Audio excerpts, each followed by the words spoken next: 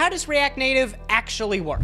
It's a system for building mobile apps and even desktop apps that lets you write your application core with JavaScript. You can write your app using React components, breaking them up how you would a web app. But instead of rendering HTML elements like div or paragraph, you render to native views with bindings like view and text. So with AppKit on your iPhone, for example, this would render as a native text view. Now the question is, hmm. how do we pass arguments to and from these native views? Well, in the middle, we have our core. Kind of like how React has a virtual DOM on the web, we have a representation for native apps. Before this was called the bridge, which passed JSON packets to and from, kind of like a server to a client. But now that's been overhauled with Fabric, which replaces JSON passing with native C++ bindings. These effectively expose low-level functions in a way that JavaScript can call them, and encode the arguments much more efficiently than JSON. It's a bit like controlling a puppet on strings, where JavaScript is moving the strings around, Fabric is the strings, and AppKit, or your native app renderer, is what you're controlling.